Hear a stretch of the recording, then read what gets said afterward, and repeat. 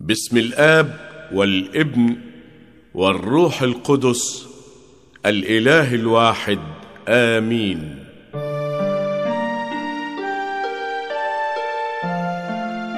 بصلوات صاحب القداسة والغبطة البابا المعظم الأنبا شنود الثالث وإشراف ورعاية حضرة صاحب النيافة الحبر الجليل الأنبأ اثناسيوس مطران كرسي بني سويف والبهنسة كنيسة السيدة العذراء مريم والقديس القس عبد المسيح المقاري بالمنهرة مطاي تقدم في كنيسة المنتصرين فخر القديسين. الخادم الأمين أبونا عبد المسيح. قصة حياة قديس معاصر القس عبد المسيح المقاري المنهري.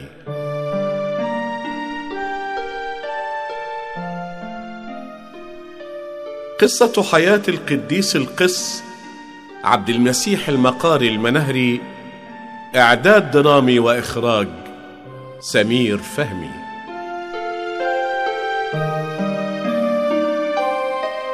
اذكروا مرشديكم الذين كلموكم بكلمة الله.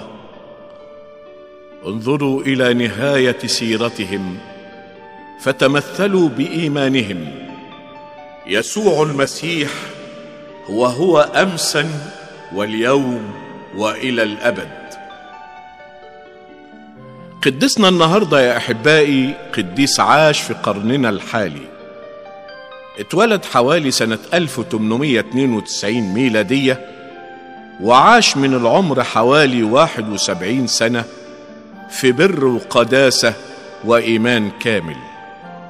مسترشدا بقول رب المجد يسوع المسيح لكي يروا أعمالكم الحسنة فيمجدوا أباكم الذي في السماوات. قدسنا يا حبايبي اتولد من أبوين مسيحيين في قرية اسمها أبو شحاتة مركز مطاي محافظة المنيا. أبوه اسمه حنين حنة وأمه اسمها أستير. وكانت مهنة القديس في صباه لا تمتاز عن مهنة بطرس الرسول الصياد ولا الأنبا شنودة رئيس المتوحدين اللي كان بيرعى غنم أبيه. مهنة قدسنا اللي هناخد بركة حكايته النهارده. كان بيشتغل مع أبوه في الزراعة وتربية المواشي من جمال وغنم وغيره. أعتقد يا حبايبي أنتوا عرفتوا هنحكي حكاية مين من القديسين النهاردة.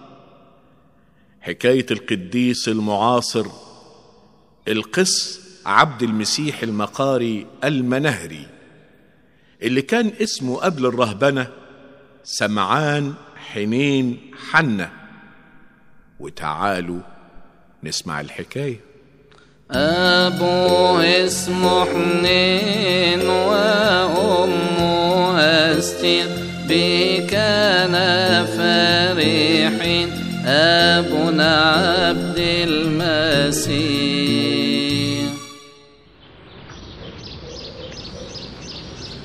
ها يا سمان يا ابني شقيت القناي الأرض عطشانة بقالها يومين. ماني شغال أهو يا امبارح الحد قلنا زي بعضه سمعان في الكنيسة بيصلي. وأول امبارح فين سمعان نزل مطي يحضر العشية اللي بيصليها المطران. ويوم الجمعة أول امبارح. سافرت لجبل القلمون عشان أحضر القداس هناك في دير الانبا صمويل يعني يا سمعان يا ابني ما ينفعش تصلي القداس هنا في بلدنا أبو شحاتي لازم تروح الدير. ما أنت عارف يا ابويا جاني في المنام القديس الانبا صمويل قلت أروح واصلي القداس وأعمل تمجيد للانبا صمويل في ديره. أوه مش هخلص معاك. كمل شق العناية وأنا هبص على الزريبة. أشوف الخروف اللي اتولد من أسبوعين أخباره إيه؟ كان إمبارح مرضان وما بياكلش. أنت ما طلتش على الزريبة طليت يا أبويا طليت. وحطيت العريقه للبهايم والخروف الصغير بقى كويس وأكلته. طب هروح أبص عليهم وأنت ما تسيبش الأرض غير لما تكمل شق القناي أمك هتجيب لك لقمة تشق بيها ريقك. راعي مواشي ومزارع وفي قلبه الخير زارع إلى الرب يسارع أبونا عبد المسيح فأجابت أستير الملكة وقالت إن كنت قد وجدت نعمة في عينيك أيها الملك. وإذا حسن عند الملك فلتعطي لي نفسي بسؤالي وشعبي بطلبتي لأننا قد بعنا أنا وشعبي الهلاك والقتل وال... يا سمعان سمعان يا سمعان. والمجد الله دائما. أيوة يا أمي ازيك يا رومي يا أختي. إزيك أنت يا سمعان؟ خليك يا ابني قاعد تحت الشجرة بتقرأ يا حبيبي في الكتاب المقدس. ربنا يباركك. خد يا حبيبي خد السرة دي. فيها رغيف عيش وحتة جبنة وعودين سريس ربنا يخليك ليا يا أمه؟ وتعب روحك ليه؟ وهو أنا عندي أعز منك يا سمعان.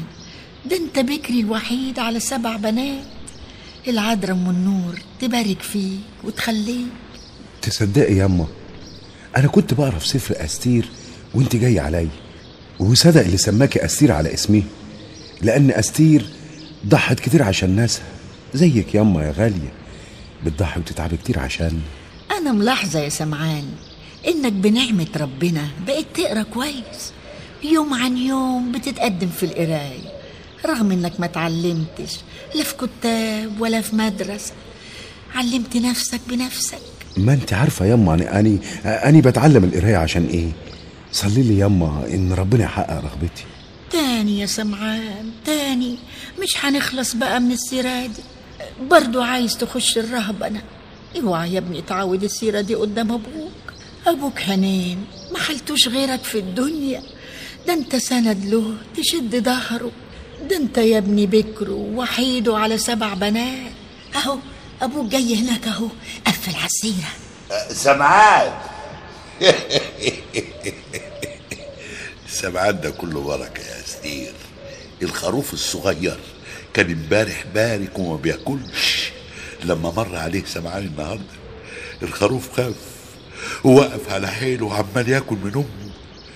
البركة بتحل على كل مكان بتدخله يا سمعان يا ابني.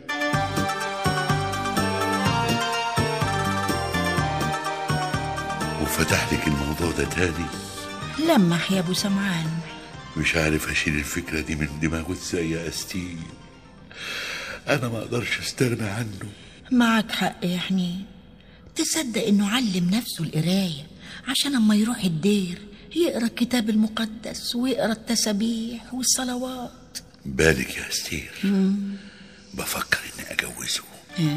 وإنت عارفة أي عيلة مسيحية في بلدنا مش عادي بيحبوني ومش هيرفضوا يناسبوني. وانت فكرك لما هتقول له على الجواز هيوافقك ويرجع عن اللي في دماغه يا حنين. أعمل إيه بس يا استير أعمل إيه؟ ما هو سمعان إيدي ورجلي. ده ظهري سندي.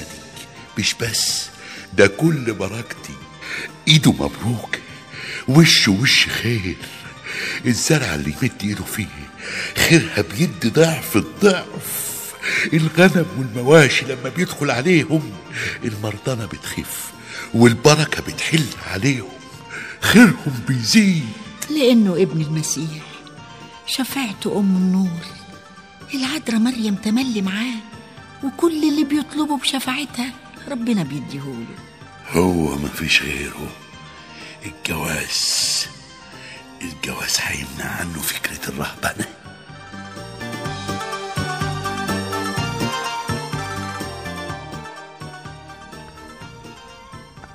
حبيبي ورب يسوع أنا ابنك الخاطي بطلب منك دايما ما تبعدنيش عن صدرك الكبير وقلبك الحنين وبتشفع بوالدة الإله القديسة الطاهرة مريم شفاعتي البتول إنك تقبلني بضعفي وخطيتي بضعف أضع أمامك كل عمل أتم في محبتك ولأجل مجدك. والنهاردة يا حبيبي أنا حفظت باقي الإصحاح 26 من سفر أشعياء النبي؟ طريق الصديق استقامة. تمهد أيها المستقيم سبيل الصديق. ففي طريق أحكامك يا رب انتظرناك. إلى اسمك وإلى ذكرك شهوة النفس. سمعان. سمعان. ده ابويا حنين. سامحني يا رب سامحني. أني أنام قبل ما أبويا يدخل الأوضة. سمعان. أنت لسه صاحي يا ابني. دي الساعة أربعة بعد نص الليل وهنصحى بدري علشان إيه دي؟ سمعان نايم ومتغطي. غريبة. أنا كنت سامع صوته وأنا نايم في أوضتي. جايز بحلم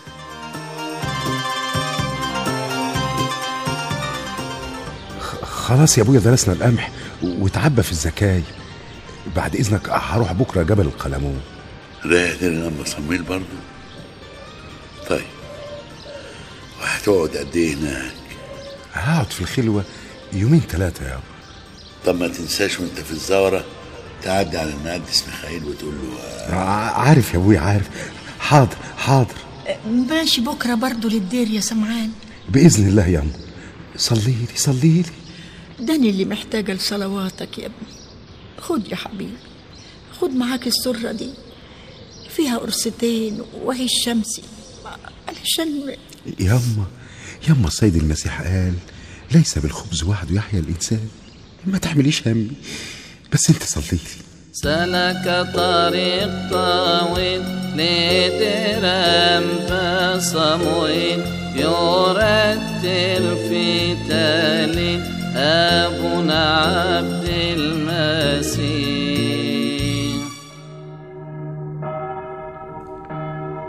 يا أبونا الراهب حللني. أني صحيح بتقل على قدسك لكن أنت يا أبي معلمي ومرشدي الروحي. وأني كل ما بشعر بالجوع الروحي باجي دير الأنبا صمويل أتبارك وأتعلم من قدسك أخرج شبعان ومليان بالنعمة. رب المجد يسوع المسيح يبارك حياتك يا ابني. اقعد جنبي على الصخرة دي. تعال. ربنا يعوضك يا أبي الراهب. اسمح لي أبي أني سمعت عظة من أبونا الكاهن في الكنيسة وكان بيتكلم عن إن المعمودية مهمة للخلاص. يا ترى قدسك ممكن تشرح لي الموضوع ده؟ أهمية المعمودية للخلاص يا ابني بتبان من كلام السيد المسيح لنيقوديموس.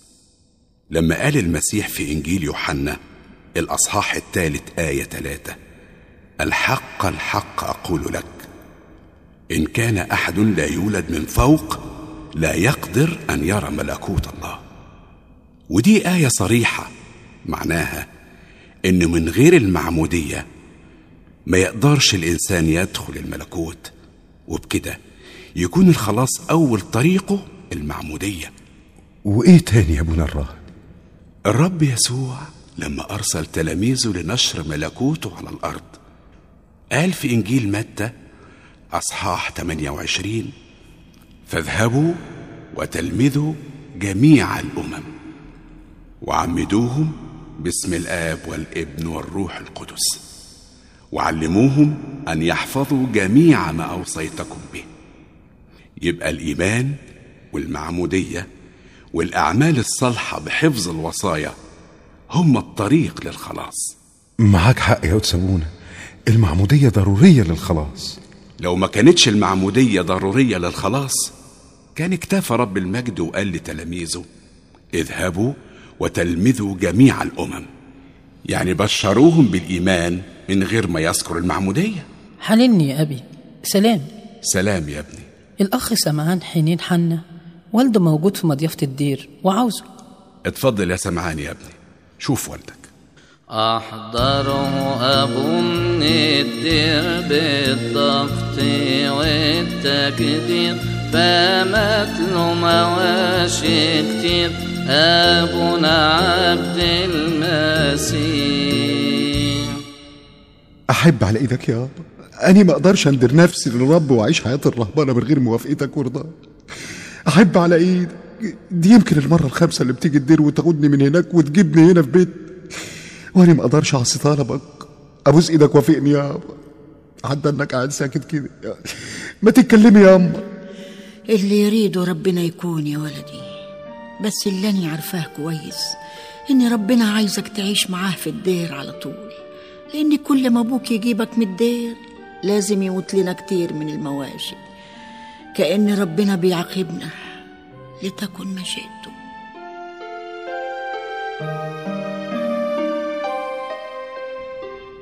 هللويا سبح الله في قدسي سبحوا في فلك قوتي سبحوا على قوتي سبحوا حسب كثرة عظمتي سبحوا سبحوا صوت الصور سبحوا ضرب بعود. هللويا مين اللي بيخبط بالليل كده ما حدش بيفتح الباب ليه آه, آه آه أنا نسيت أبويا وأمي وإخواتي عند عمتي ومحدش في البيت حاضر حاضر حاضر لحظة واحدة حاضر مين؟ أنت عايزة إيه؟ اوعى كده انت الله أنت قفلت الباب ليه وداخلة على فين؟ أنت عاوزة مين؟ أنا عاوزاك عاوزاك أنت يا سمعان يا حبيبي حبيبك أنت إزاي تدخلي ومحدش هنا؟ امشي اخرجي بره. تعالى تعالى يا حبيبي. ده أنا ده أنا بحبك. وعارفة إن أبوك ووالدتك وإخواتك مش موجودين. تعالى يا حبيبي تعالى قبل ما حد فيهم يجي تعالى. امشي امشي اخرجي بره يا خطي امشي. إيه؟ هو أنا هو أنا وحشة ولا إيه؟ ده أنا أجمل بنت في المنيا كلها. ده أنا جاية لك مخصوص يا سمعان. لأني لأني بحبك. تعالى. سيبي ايدي سيبي ايدي. ابعدي عني كاك وجع في بطنك. تعالى تعالى يا سمعان يا حبيبي. تعالى. آه. آه. بطني بطني. آه. سكاكين بتقطع في بطني.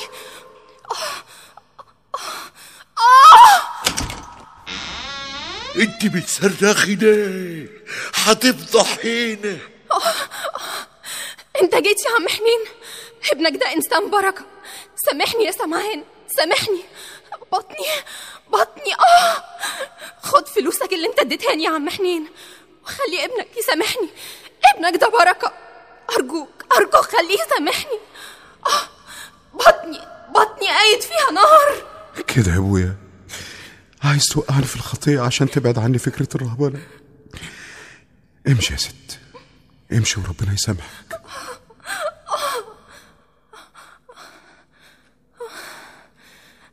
الحمد لله. الوجع راح. مفيش ألم. انت قديس يا سمعان. سامحني. هجمت امرأة شريرة وحاولت تغريره أمسكت بجلاليبه أبونا عبد المسيح. ما تزعلش مني يا سمان يا ابني. أنا هكلمك بصراحة. أنا عملت معاك اللي عملته علشان الأرض حالها هيتدهور لو سبتني والبهايم مات منها كتير. أنا كبرت في السن ومش قادر على حمل الأرض. وأنت عارف ما يرعاش أرضك غير دراعك. يعني لا فلاح ولا حد هيحافظ على أرضنا زينا. ما هو لو كان عندنا ابن غيرك كنت اعتمدت عليه. لكن حول إيه بس. ما باليد حيلة. ما عنديش غير إخواتك السبع بنات. يعني يا أبويا لو ربنا اتمجد وهبك ولد غيري توافق على رهبنتي مش عايزة كلام يا ابني. انت فاهم إني ما أتمناش كل ابني يخدم رب المجد يسوع. ما تتكلم يا أستير. حقول إيه اللي يريده ربنا يكون يا حنين يا أبو سمعان.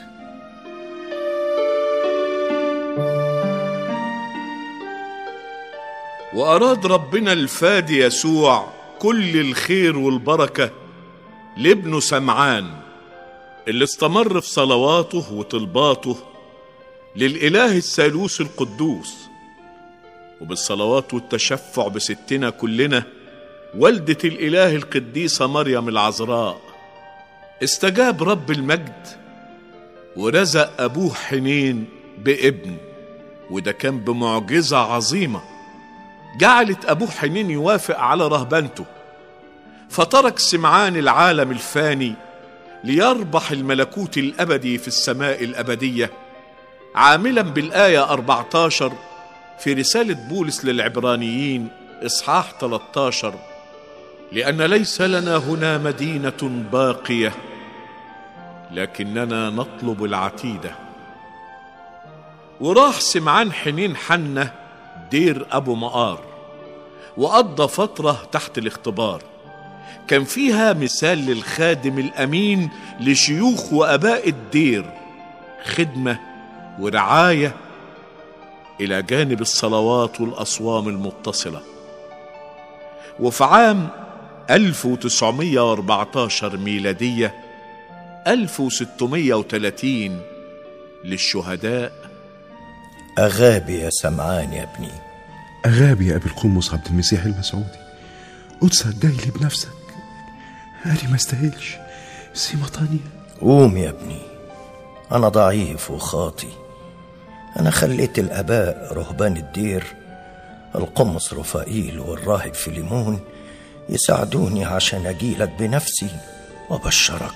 أنا ما استاهلش يا أبي أنا ما استاهلش يا أبا النعمة والبركة اللي حلت عليا بقدومكم إحنا فرحانين بيك يا سمعان لأننا ملاحظين ومراقبين وداعتك وهدوءك ومواظبتك على الصلوات وخدمة أباء الدير وخصوصا الشيوخ منهم. أنت بركة كبيرة قوي يا سمعان. ضعفي ما يستاهلش يا أبي القمص رفائيل يا سمعان يا ابني من يوم ما جيت دير أبو مقار طالب للرهبنة وآباء الدير كلهم بيتكلموا عن هدوءك وصمتك وصبرك وطاعتك. وإنكارك لذاتك. تمام. زي ما قال رب المجد إن أراد أحد أن يأتي ورائي فلينكر نفسه ويحمل صليبه ويتبعني. يا أبويا القمص عبد المسيح أنا خادمك وتلميذك يا سمعان أنت لازمت أباء قديسين مثال لإنكار الذات والتستر عشان ما تنكشفش روحانياتهم لحد. النهاردة يا ابني فرح رب المجد بيك هيتم وهتبقى العريس الجديد في فرح ملك السماوات الأبدي. النهاردة هيتم رسامتك راهب.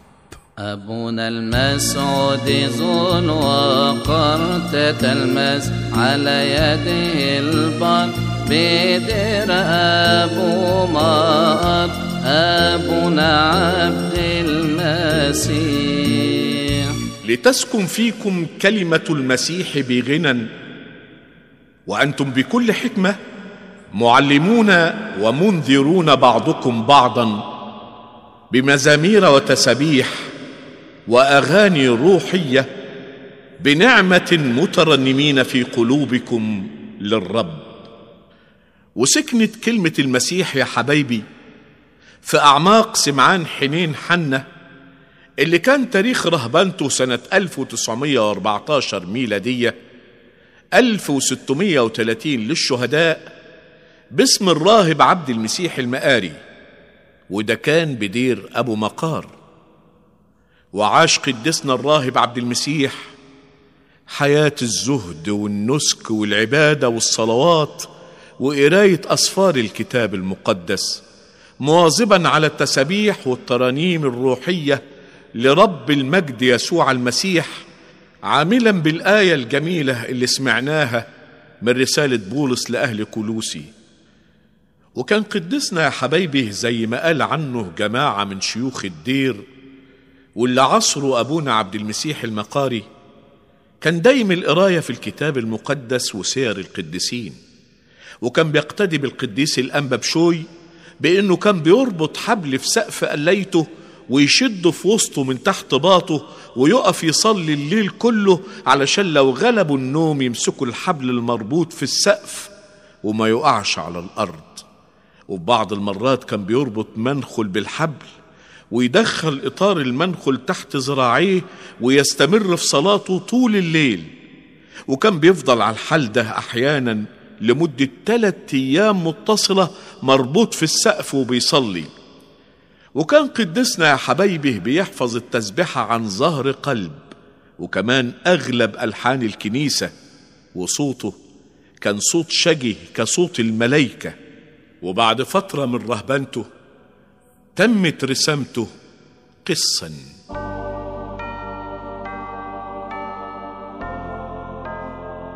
هو مش مفروض يا أبي؟ إن أبونا عبد المسيح يجي على المايدة معانا عشان نتغدى. هو قدسك لسه هتعرف.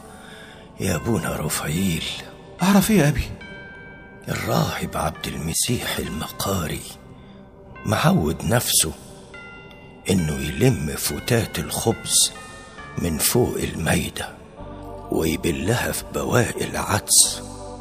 وإن ملقيش عدسة أو أي بقوليات أو خضار يبل فيهم لقم العيش المكسرة يبلهم في المية ويأكلهم. كل أكله بالشكل ده والغريب إنه ما بيأكلش الأكلة دي غير مرة واحدة في اليوم. متاعان الزاد وأكل الفتات فربح النامت أبونا عبد المسيح.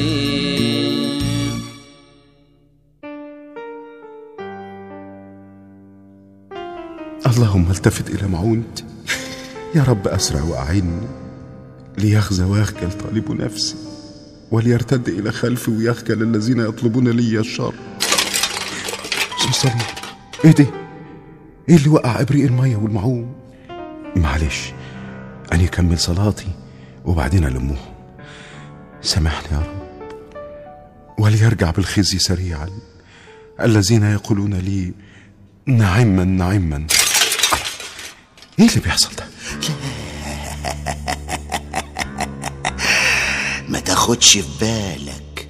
دي حاجات بسيطة. الملايكة أصلها فرحانة بيك. وبتعبر عن فرحتها لأنك قديس عظيم. وصلت لأعلى درجة من القداسة والبر. إيه ده يا قديس؟ إيه العظمة دي كلها؟ أنت مين؟ ومنين جاي الصوت ده؟ أنا أنا قاعد جنبك على شمالك.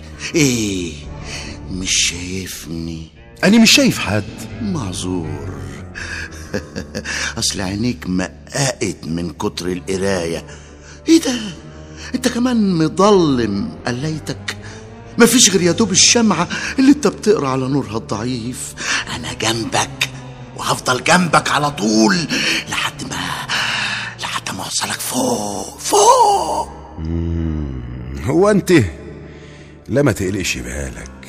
نور ربي دايما بيملأ قلايتي بس أنت اللي أعمى ودايما ربي جنبي بيسندني. هحتاجك أنت خايب. أيوة. هتحتاجني أنا لأن أنا اللي عارفك كويس وعارف قد إيه أنت قديس عظيم. مش بقولك الملايكة فوق فرحانين بيك قوي وادوك أعلى الدرجات في البر والقداسة. أنت نجحت. أيوة نجحت. والتقدير امتياز جدا. مم، ومغير منظرك الراضي. وجاي لي في هالة نور. تمام. تمام زي ما قال معلمنا بولس الرسول. ولا عجب لأن الشيطان يغير شكله إلى شبه ملاك نور. لا لا لا لا لا لا لا. ما تخلينيش أزعل منك. وما تخليش فكرك يروح لبعيد. أنا أنا جاي لك في مصلحة. جاي لك في طرد مستعجل من الفضاء مبعوث العناية السفلية لأعلى أجرام الفضاء الغير محدود عشان أعرف الكون كله مقامك العالي اللي انت مش واخد بالك منه. ريح بالك يا مرزول وسيبني. أسيبك؟ أسيبك ده إيه يا راجل يا يا قديس؟ هو أنا بقول حاجة غلط. ده أنا بنحني اجلالا وتقديرا لقداستك وعظمتك. ونفسي لو حتة ورقه صغيرة تكتب لي عليها اسمك المبجل احتفظ بيه ذكرى واعمل بيها احتفال عظيم. وخلي كل المخلوقات تردد اسمك العظيم وترتفع أصواتها لأعالي السماء. القديس سمعان حنين العظيم. أعلى وأعظم إنسان في العالم. امشي امشي اخرج يا عدو الخير. اتركني يا إبليس يا ملعون برضو ده جزائي. ده أنا جاي أبشرك بالمجد العظيم اللي مستنيك. بس أنت اديني نفسك. سيب لي رسم طريقك للمجد والشهرة والبريق. ومش هتندم. صدقني مش هتندم. هتفتخر بيه وتمجدني. حاشا لي أن أفتخر إلا بصليب ربنا يسوع المسيح الذي به قد صلب. العالم لي وأنا للعالم. وبعدين بقى أنت تعبتني قوي. طب اسمع اسمع. اديني ودنك واسمع مكلمتي. زمايلك زمايلك الرهبان غيرانين منك ومن الدرجة الفخيمة اللي انت وصلت ليها. وبينموا مع بعضيهم وبيحسدوك. عاوزين يوقعوك في شر مكايدهم. قوم. قوم يا عدو الله. قوم واخرج من المكان ده. وإلا اسمعني. اسمعني يا سمعان. آني عبد المسيح عبد الإله الخالق ابن الله الكلمة اللي نزل من السماء واتجسد من بطن العذراء البتول عشان يمسح خطايا البشر اللي صنعها آدم بغوايتك الشريرة. رب الإله اللي فتح لنا باب الخلاص. سمعان. ما إحنا كنا كويسين مع بعض يا حبيبي. كنا حلوين مع بعض يا أخويا. أنت هتقلب ليه؟ هتلخبط في المكلمة ليه؟ يا ربي أني بستعين بيك على هذا الملعون المرزوق. اللي جه عشان يعظمنا. يا رب يا رب اديني القوة عشان ما اسمعوش ببركة صليبك يا إلهي ومخلصي المسيح. اللي بيحصل لي ده؟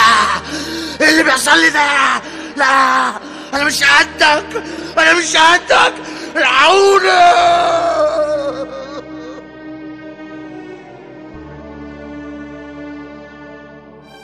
تعال تعال يا أبونا عبد المسيح. سلام قداسة البابا المعظم الأنبا يؤنس 19 أنحني أمام قداستك وأقبل إيدك الطاهرة اسمع يا أبونا عبد المسيح. أنا سمعت عنك وعن تقواك وعبادتك أشياء يتمجد بيها اسم الله القدوس. داني غلبان داني كل خطايا يا سيد أنا عارف إنك ما بتحبش حد يتكلم عن فضيلك لأن الفضيلة إذا ظهرت سرقت ونهبت من المجد الباطل. شوف يا ابونا أنا اخترتك تكون أب اعترافي وبعدها هرسمك مطران. حللني يا سيدنا أنا ماشي من هنا. استنى استنى يا أبونا عبد المسيح. بقول لك هرسمك مطران. ترسمني مطران. إزاي وإنت متجوز أمي وأنا كمان عايز أتجوز؟ بتقول إيه؟ امشي اخرج من قدامي أنا كنت فاكرك قديس. طلعت مجنون. امشي.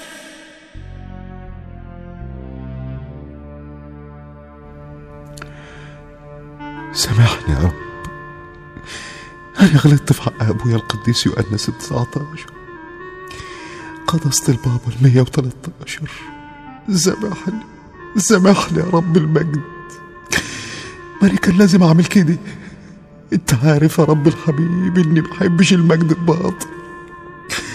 ما بحبش الرياسة عشان ما أقعش في خطيئة الكبرياء. أنا بقتدي يا رب بالقديس مار إسحاق. اللي شاف إن أعمال الأسقفية تفسد عليه الوحدة معاك يا حبيبي وملك الصالح. وكمان القديس أمونيوس أسقف دمنهور والقديس أغريغوريوس الناطق بالإلهيات اللي تركوا الأسقفية وعاشوا متوحدين. سامحني يا رب سامحني لأني ادعيت الجنون. وغضبت قداسة البابا قلت له انت متجوز أمي.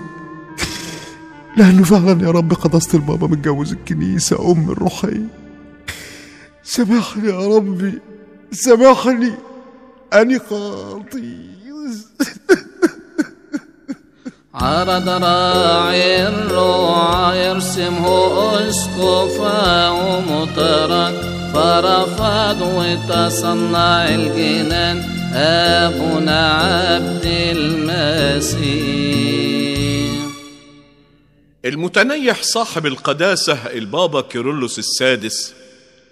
حكى لصاحب النيافة الأنبا مينا مطران كرسي جرجة وتوبيعها دلوقتي واللي بندعو له إن رب المجد يحفظ لينا حياته سنين عديدة. حكى لنيافته وقعة أيام ما كان نيافته راهب باسم أبونا لوقا المقاري. حكى له أبونا مينا المتوحد البراموسي إن أبونا عبد المسيح المقاري قديس عظيم.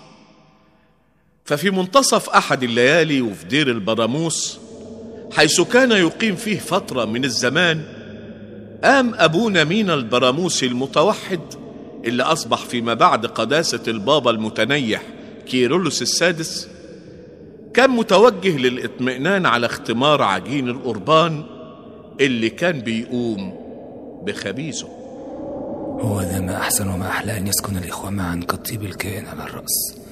الذي ينزل على اللحية لحية هارون النازلة على جيب قميصه. ومثل ندى حرمون المنحدر على جبل صهيون. لأن هناك أمر الرب بالبركة والحياة إلى الأبد.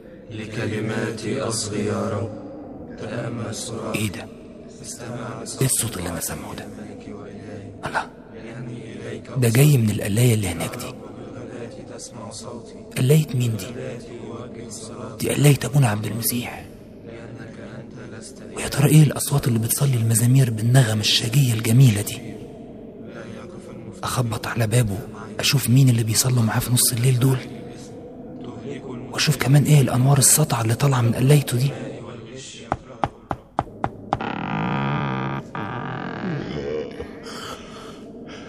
مين؟ أنا الخاطي مينا حللني الأنوار اللي شفتها طالعة من قلايتك انطفت إزاي؟ دي كانت أنوار كتيرة وفين اللي كانوا بيسبحوا ويصلوا مع قدسك؟ أنوار؟ أنوار إيه وأصوات إيه؟ أني أنا كنت في سبع نوم. دي أصول رهبانة إنك تصحيني في نص الليل. أخطيت حللني. بس أنا متأكد إن كان في أنوار في الله يحلك الله يحلك مع السلام. بس ما تعملش كده تاني. ولما دخل أبونا عبد المسيح قليته تاني بعد أبونا مينا المتوحد شوية واستخبى ورا نخلة بدير البراموس واستنى عشان أبونا عبد المسيح يخرج واللي كانوا بيصلوا معاه يخرجوا معاه. فاكتشف أبونا مينا مع دق جرس التسبحة إن أبونا عبد المسيح خرج من قليته لوحده وما معهوش أي حد. دي يا حبايبي شهادة سمعها أبونا لوقا من فم صاحب القداسة المتنيح البابا كيرلس السادس اللي هو كان أبونا مينا المتوحد. وأبونا لوقا نفسه يا حبايبي اتنبأ ليه قدسنا أبونا عبد المسيح المقاري بأنه هيصبح مطران. وده وقت ما طلب منه أبونا لوقا أنه يصبح تلميذ لأبونا عبد المسيح.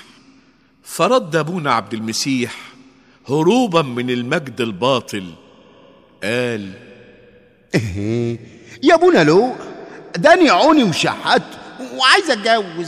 ده أنت بكرة هتحط الصليب على صدرك وصليب في إيدك ترفعه للناس عشان يبسوه. أنا عايز أتجوز. البابا كيرلس البار قال إنه من الابرار تشع منه الانوار أبونا عبد المسيح. أنتم ملح الأرض ولكن إن فسد الملح فبماذا يملح؟ لا يصلح بعد لشيء إلا لأن يطرح خارجا ويداس من الناس. وقديس كنيستنا القبطية الأرثوذكسية يا حبايبي كلهم كانوا الملح اللي بيصلح الأرض البور وبعدين يبذروا بذور الإيمان الصالح القويم في الأرض ليخرج نبت صالح لمسيحي مؤمن متشبه بقديسيه اللي حولوا بور حياتنا الروحية إلى خصوبة ونماء روحي وشركة كاملة مع رب المحبة يسوع المسيح. يا أبونا عبد المسيح أنا اب اعترافك وبطمنك. كل اللي بتعمله ده هو الصواب بعينه. انت بترفض المجد الباطل لحياة الدنيا الزائلة وبتتمسك بحياة الوحدة والشركة مع حبيبك يسوع المسيح رب المجد. بس أني أنا حسيت إني إني زعلت أبويا صاحب القداسة الأنبا يؤنس أبونا البطريرك البابا يؤنس إنسان بار وحكيم وشفافية إيمانه هتخليه يعرفك ويعرف جوهرك الثمين ويسامحك. يعني أعمل كده زي ما قدسك أرشدتني؟ أيوة لازم تنزل من الدير وتكمل جهادك في مكان تغرس فيه غرسك الصالح علشان تبقى شاهد أمين للسيد المسيح له كل المجد وبرضه تقاوم التمجيد والتعظيم اللي ممكن يصادفوك بنفس الطريقة اللي اتبعتها مع قداسة البابا يؤنس وربنا يباركك.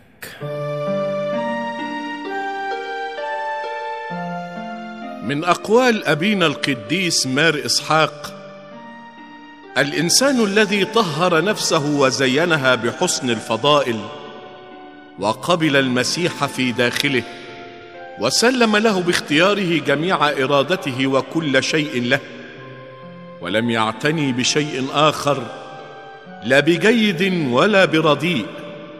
هذا في كل وقت يتغذى بقوت الملائكة من مائدة ربنا يسوع. طوبى للنفس التي استحقت هذا. وأبونا الراهب القس عبد المسيح المقاري طهر نفسه يا حبايبي وزينها بحسن الفضايل وقبل المسيح فكان رب المجد دايما معاه يتمجد اسمه فيه وفي كل المعجزات اللي حصلت بواسطته. ونزل أبونا عبد المسيح المقاري نزل للمنهره زي ما طلب منه. تاركا دير أبو مقار بصحراء وادي النطرون. وفي المنهره بنى لنفسه قلايه عبارة عن عشة متواضعة مبنية بالطوب اللبن. ويذكر عن القديس أبونا عبد المسيح المقاري إن طول حياته في قرية المنهره ما كانش يملك ثوبين ابدا. كان بيقتني ثوب كهنوتي واحد. سكن في المنارة في كنيسة العذراء الطاهرة. صلى بعيون ساهرة أبونا عبد المسيح. وفي كنيسة السيدة العذراء مريم بالمنهرة كان بيصلي قداس الأحد أبونا عبد المسيح المقاري المنهري وكان معاه الشماس مكرم حنا يواقيم. وكان بيقوم بالمردات المعلم جرجس. وأثناء حلول الروح القدس. اسجدوا لله بخوف ورعدات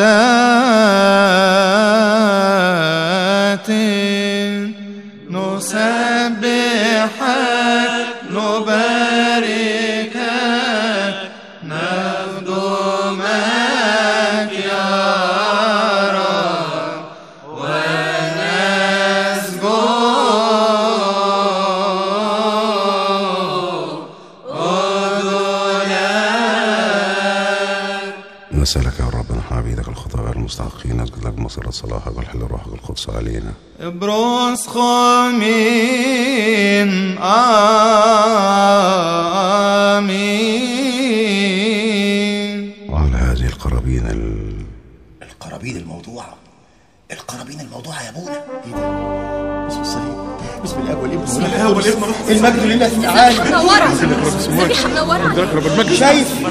شايف يا معلم جرجس شايف؟ ومجدك يا رب السماوات. المجد لك يا رب المجد. شايف النور الإلهي أيوه. اللي سطع على الذبيحة وملأ الهيكل؟ أيوه. نور ما شفتش أجمل ولا أبهى منه في حياتي. ومجدك يا يسوع المقدس الروح القدس حل على الذبيحة بنور إلهي. أنت بركة كبيرة يا ابونا عبد المسيح. أنت قديس.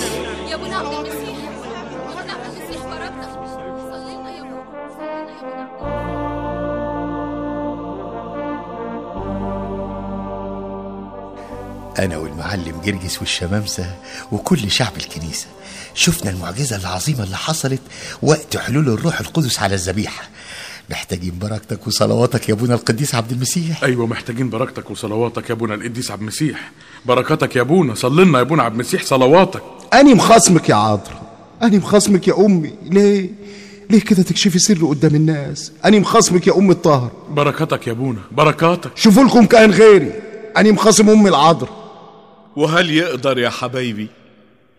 هل يقدر القديس القس عبد المسيح المنهري إنه يخاصم شفاعته العذراء مريم؟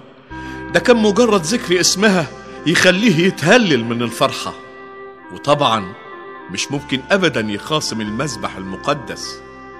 لكن أبونا عبد المسيح المنهري خاف إن المعجزة اللي حصلت بظهور النور العظيم أثناء صلاته للقداس إنها تتكرر تاني. فيعرف كل أهل قرية المنهرة والقرى اللي جنبها بأمره فيشغلوه عن عشرته بالرب وعن الزرعة اللي زرعها في أرض حياته بسيرته الطاهرة ورهبانته الصالحة بتواضعه وصلواته المستمرة بكرهه للمجد الباطل بصدقاته على المحتاجين اللي كان بيديهم كل ما تملك يديه. وده كله يا حبايبي خلى شجرة حياته على الأرض مورقة كثيرة الثمار الطيبة. جمعت بين أغصانها كل محبيه من أبنائه مؤمن المسيح له المجد. اللي شافوا عينه بركاته ومعجزاته الكتيرة اللي لا تحصى ولا تعد. وفي صيف 1952 وبالتحديد في نهاية الأسبوع الأول من شهر يوليو سنة 1952 حصل يا حبايبي. اتفضل يا ابونا عبد المسيح. نورت بيتي المتواضع في الصمالوط أهلا بقدسك اتفضل. ربنا يباركك يا أستاذ يعقوب بباوي ويبارك بيتك وأهلك ويبارك كل شعب المسيح. اتفضل استريح. ها أجيب لقدسك القهوة عقبال ما يحضروا الغدا أقعد الأول بس أقعد. أني من ساعة ما شفتك النهاردة وأني حاسس إنك مهموم. في حاجة يا أستاذ يعقوب؟ صدقني يا أبونا عبد المسيح أنا قلبي مقبوض وحزين من ساعة ما جاني الخبر. مم. عشان السرايا باعتين عايزينك. أيوه. وللأسف مش عارف عاوزيني في إيه. اشمعنى أني من بين تجار لقطنبة وصمالوط يبعت لي الملك فاروق ويستدعيني أحضر لسرايته في مصر؟ مم، يا يعقوب فاروق ابن نازلي عاوزك عشان ياخد جنينة من جناينك. بس ما تخافش.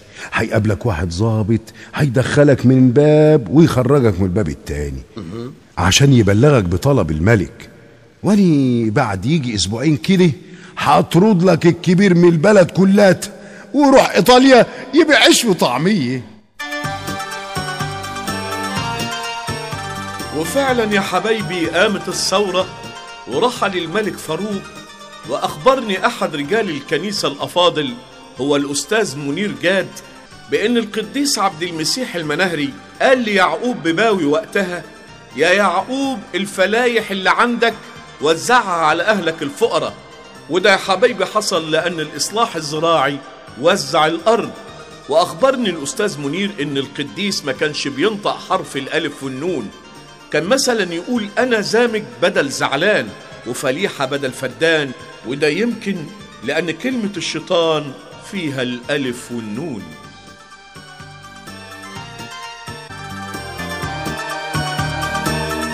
تعيش وتقدس يا ابونا عبد المسيح. صوتك النهارده كان جميل خالص وانت بتصلي. وخصوصا وانت بتصلي جنينات ربنا يرحمنا يا معلم جرجس تعرف بقى تمشي ساكت لحد ما توصلني قلايتي وتشوف حالك. أني أشهد لقدسك يا أبونا إنك قديس وكلك بركة. بقول لك إيه يا معلم؟ شايف الترعة اللي قدامنا دي؟ آه دي عرضها يجي مترين وغويطه يجي متر أو أقل الترعة دي مليانة موسوسين. موسوسين؟ ومش بس في الترع لكن الشط التاني مليان موسوسين. أنا عايزك بقى تعدي الترعة وتشوفهم لي. إيه؟ يلا انزل الترعة وعدي الشط التاني دور عليهم وارجع. يا ابونا. نفذ يا معلم على ابن الطاعة تحل البركة. يلا يلا. حاضر حاضر يا ابونا حاضر. انزل. اسم الصليب وشرط الصليب؟ امشي ام- امشي امشي امشي في المية وصل الشط التاني. دور لي على الموسوسين. ها؟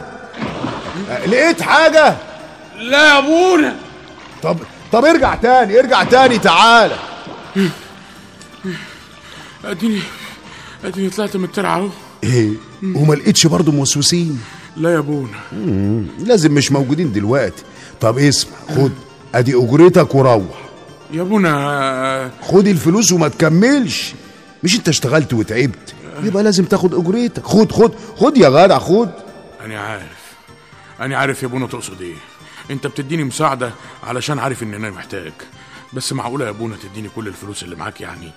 أنا هاخد جنيه واحد بس. وبعدين معاك يا معلم جرجس خد الفلوس وانت ساكت لا خصم يا ابونا أنا عارف. قدسك بتعمل عمايلك دي عشان أنا وغيري اللي بتديهم كل فلوسك ما يعرفوش إنها صدقة.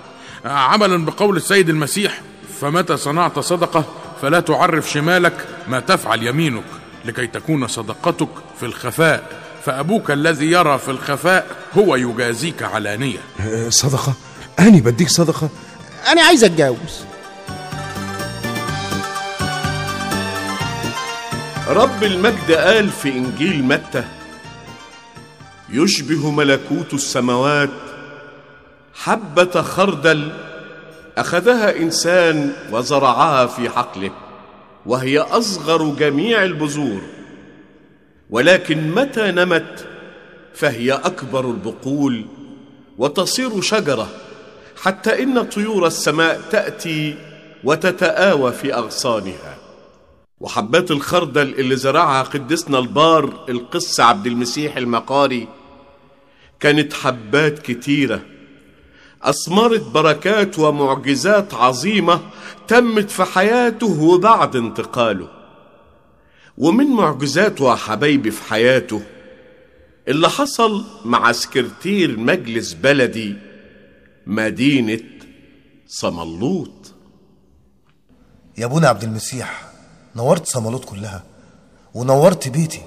زيارتك ليا في بيتي بركة كبيرة. بقى الأستاذ حبيب إستفانوس سكرتير مجلس بلدي صمالوط يقول عليا إني بركة. صدقني أنا عايز أتجوز. برضه بتتهرب يا ابونا عبد المسيح. المهم إزاي الست فيكتوريا مراتك؟ المرض زاد في جسمها. أنا محتار يا ابونا عبد المسيح. وديتها لأكبر وأشهر الدكاترة ومحدش عارف مرضها إيه ولا يتعالج إزاي. وبصراحة يا أبونا أنا جايبك بيتي مخصوص عشان تصلي لها. وأنا متأكد إن ببركة قدسك هتعمل اللي ما عملوش الدكاترة. والشفاء هيكون ببركة صلواتك. أني أنا اشفيها الرب الشافي قادر يخفف عنها. تعالي يا فيكتوريا. يا فيكتوريا. سلام. نورت بيتنا يا أبونا عبد المسيح. الأستاذ حبيب بيقول قال إيه؟ آني آني الخاطي التعبان. ألا أقدر أشفيك؟ يا ابونا عبد المسيح حبيب وأنا وكل المؤمنين باسم المسيح. عارفين كويس إن ربنا رب المجد بيقبل صلواتك وتشفعك بأم النور العذراء. وأنا مؤمنة بإنك لو مديت إيدك بالصليب على رأسي وصليت لي كل الأمراض اللي, اللي الدكاترة احتاروا فيها هتروح من جسمي. أنا مؤمنة بالمسيح. ومؤمنة بإنه بيستجيب لطلباتك. أرجوك صليلي طب آه، إذا خفيتي تتجوزيني؟ خدها يا سيدي. خدها واتجوزها بعد ما تخف. ولو قدسك وافقت أنا هتنازل لك عنها. يمكن يمكن تجيك الفكرة بعد يومين وتعرضها على دكتور في المنيا فيقول لك عايزة عملية ويطلب منك 12 جنيه أجرة العملية. المجد ليك يا ربي. إيش عرفك يا ابونا عبد المسيح؟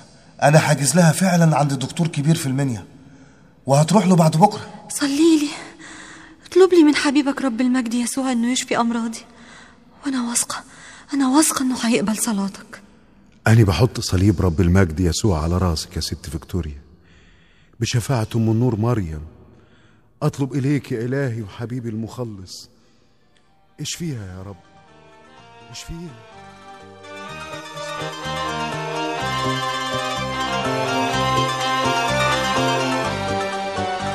جبت صورة الأشعة يا أستاذ حبيب؟ أيوه يا دكتور دي الأشعة التانية اللي حضرتك طلبتها. يا رب تكون المرة دي سليمة ما فيهاش حاجة. هتبقى سليمة إزاي؟ أنا بس كنت عاوز أتأكد من حاجة كانت موجودة في الأشعة الأولانية. لأن الست بتاعتك تعبانة ومحتاجة عملية فورا. وريني الأشعة. يا ابونا عبد المسيح عملية؟ وتتكلف كام 12 جنيه. المجد لاسم الله. نعم. لا لا لا لا مفيش حاجة. بطلب تدخل ربنا. إيه ده؟ غريبة. في إيه يا دكتور؟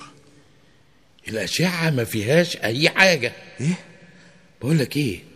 ابقى هات لي الست أشوفها في شيء غريب. حاجة غريبة حصلت. بركتك يا ابونا عبد المسيح.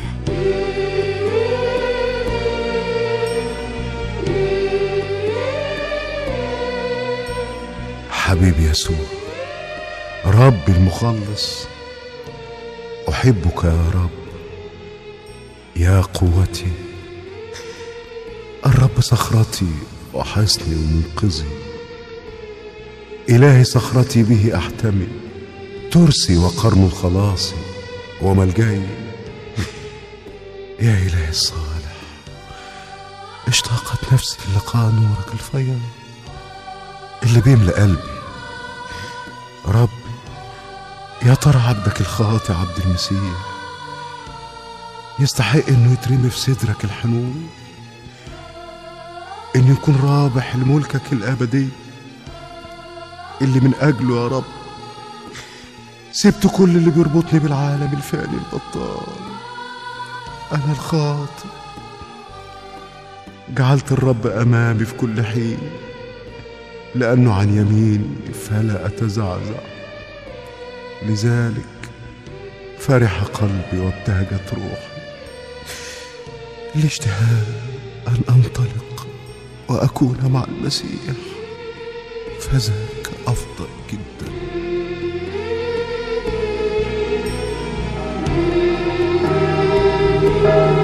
كل سنة وقدسك طيب يا ابونا عبد المسيح. النهاردة حد الشعانين كل سنة وقدسك طيب يا ابونا كل سنة؟ ما خلاص. أنا هكلل يوم العيد الحد الجاي. إيه؟ مش مصدقيني؟ آه. مش مصدقني يا مكرم يا شماس الكنيسة؟ ولا أنت يا شيخ إيليا عياد شيخ قريتكم العرب مركز مطاي؟ طب وأنت يا مقدس فانوس مش مصدقني؟ صدقوني كلكم أنا هكلل يوم العيد وأفرح. هتتجوز يوم عيد القيامة يا أبونا عبد المسيح؟ ما تبارك له يا عم فانوس. الله. انت بتحفر إيه في الأرض بكرتك يا ابونا بحفر بورتين. بورة للمعلم فانوس وبورة بعدها عشاني. وعند انطلاق الروح قال أنا هروح سأكلل وأفرح. ابونا عبد المسيح. وتمت نبوءة القديس عبد المسيح المقاري المنهري وانتقل المقدس فانوس يوسف من كبار التجار في مغاغة انتقل للسماء ليلة عيد القيامة المجيد تمام زي ما تنبأ له القديس. وفي صباح عيد القيامة المجيد وبسماح من الرب لأننا به نحيا. ونتحرك ونوجد. تنيح أبونا عبد المسيح المقاري المنهري. يوم الحد 14 إبريل سنة 1963 ميلادية الموافق 6 برمودة سنة 1679 للشهداء. تنيح القديس بعد رحلة جهاد روحي عامرة بالبركات والمعجزات وشفافية الروح. وما زال ليومنا هذا تحدث معجزات كثيرة. شفاء مرضى تحقيق طلبات ببركة التشفع باسم هذا القديس المبارك. وما زالت يا أحبائي ملابسه وبعض حاجياته الموجودة بالمنهرة. ما زالت بركة كبيرة لكل مؤمن الكنيسة. بركة صلوات هذا القديس العظيم تكون معنا وتحفظ إيماننا بكنيستنا وحبيبنا الفادي المخلص رب المجد يسوع المسيح. وتحفظ لنا حياة أبينا راعي الرعاة صاحب القداسة والغبطة البابا المعظم الأنبا شنود الثالث ولربنا كل مجد وإكرام وسجود الآن وكل أوان وإلى دهر الداهرين. آمين.